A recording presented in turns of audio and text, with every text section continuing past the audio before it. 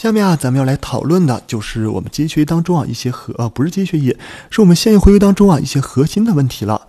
咱们现在来想第一个问题，就是刚才啊我说我用了我的一组权重参数西塔跟我的 x 啊进行了一个组合，然后呢说它呀能是接近于我的一个预测值，就是说让它去拟合我的一个平面。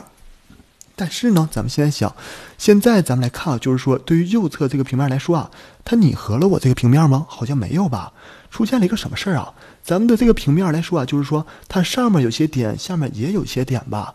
那这个是什么意思啊？也就是说，我们的一个真实值，这些红色点都是我的一个真实值。我的一个真实值啊和我的预测值之间必然是要存在着这些差异的。这些差异咱们来看，有些差异可能是一个正数，可能是多借了我十块钱；下面呢可能是少借了我十块钱，这块可能是多借了我十五块钱，都有可能的吧？因为呢，咱们每一次进行预测啊，都不可能它是完完全全的就是一个准确的值，多少啊都会存在着这样一些差异的。那存在差异怎么办啊？存在差异是不是这个事儿就不能做了？存在差异是正常的。因为呢，当我们用机器学习解决一个问题的时候啊，首先机器学习的一个基本的思想就是说，我们的我们的理论模型跟现实模型之间必然是存在这个差异的，只要我们能合理的利用这个差异就是可以的。然后呢，现在啊，我们用一个值来表存啊，来表示一下我的一个误差，也就是说，现在呢，我引入了一个新的量，叫做一个误差，我们去把它叫做一个一个系统。这个误差什么意思啊？就是说。就是像我刚才给大家说的，这个正正十或者正十五，它就表示着我们这个预测值和真实值之间的这样的一个差异嘛。这样的一个差异啊，就是说，现在我们来看，我用一个 yi 表示着当前的第一个样本来了之后它的一个真实值。所以一个真实值啊，就是说，当我们拿到数据之后啊，我都是一个有标签的嘛。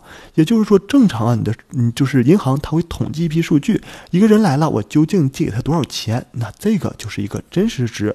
真实值是用一个 yi 来进行表示的。然后呢，这个西特和我的 x 进行了一个组合之后，它俩的一个组合啊，就是我的一个预测值。预测值我们来看，这是我的数据，这是权重参数。权重参数跟数据进行了一个组合之后，我就能够得到我的一个预测值。那我们来看，预测值跟真实值之间存在着什么？存在了这个一个系统，它就是我的一个误差。这样的一个误差有可能是正的，也有可能是负的。它是什么？其实并不重要。我们只是说现在有这样一个误差，先不用关心啊，它到底是一个正的还是一个负的？它是什么值啊？咱们先不用管，咱们只是说啊，对于每一个样本来说有一个误差。第一个样本有第一个样本的误差，第二样本有第二个样本的误差。那现在呢，咱们引入了一个误差的一个量，那咱们接着来往下去看。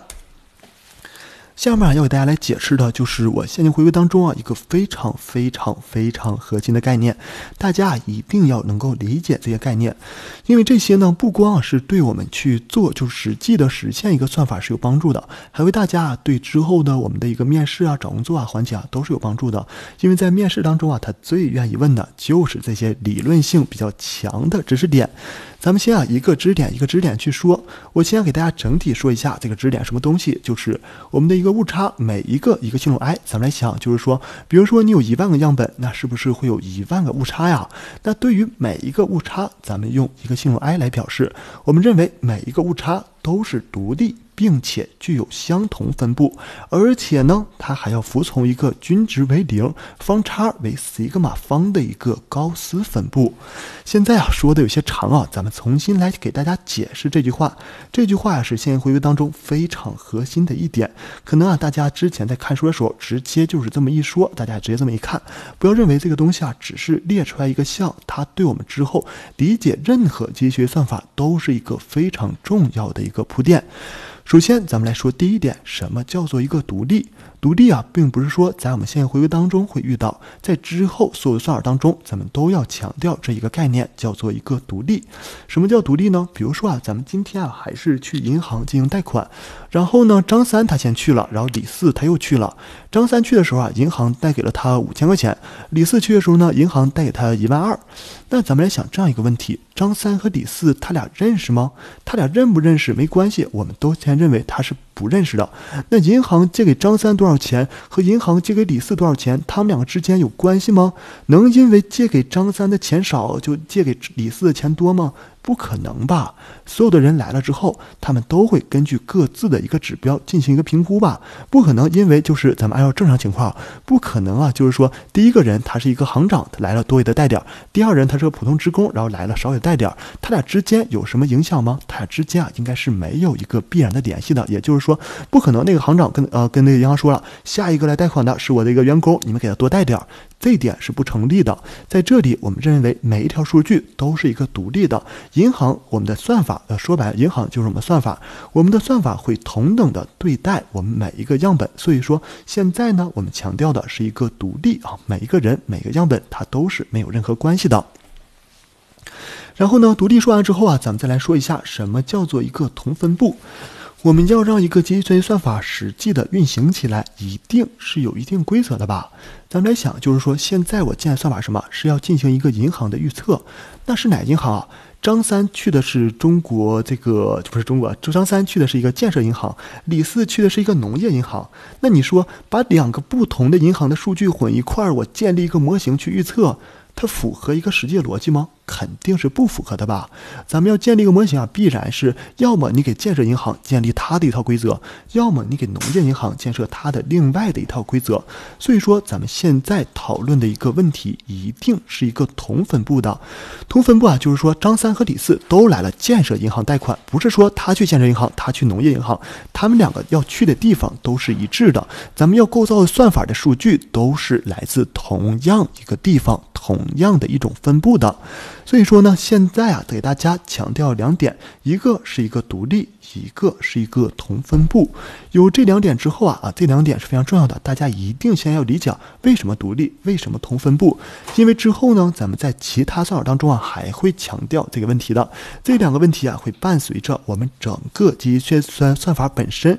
说白了，机器学习算法建立在什么样的基础上？就建立在我们独立同分布的基础之上的。然后呢，咱们再来看啊，为什么说它是服从于均值为零、方差为西格玛方的高斯分布啊？咱们先来不说这两个参数啊，不说我们的缪和西格玛，咱们先来说高斯分布。什么叫高斯分布啊？右边画出来的就是一个高斯分布。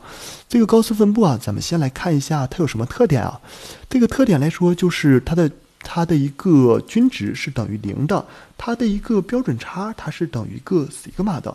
这个的意思啊，就是说。我们现在来看，为什么说哎它是均值为零的？为什么假设它是这样的一种分布啊？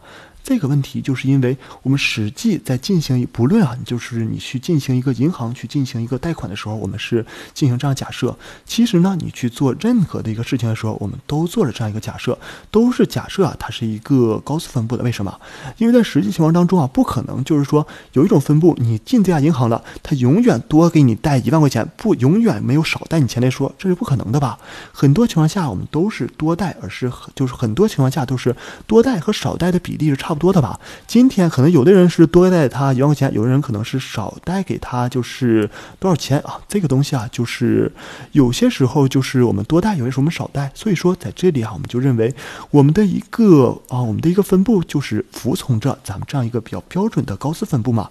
高斯分布说白了就是正态分布，正态分布再说白了就是正常情况下啊，它大致该是什么样子呢？正常情况下就是大致该是这个样子吗？